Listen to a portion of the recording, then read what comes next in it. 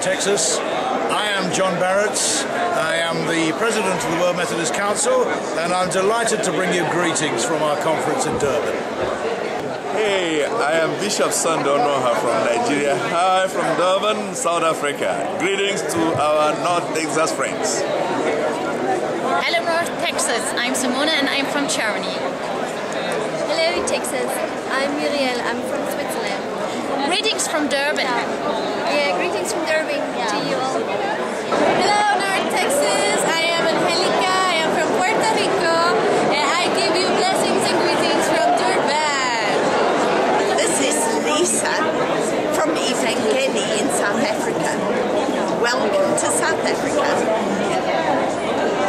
Hello, North Texas. I am George Mulrain from the Caribbean, and I bring you greetings from Durban here at the World Methodist Conference. This is Sharon Patterson coming to you live from Durban, South Africa at the World Methodist Conference.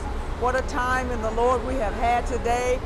We are concluding our time together here in Durban, and it closed out with a marvelous worship service.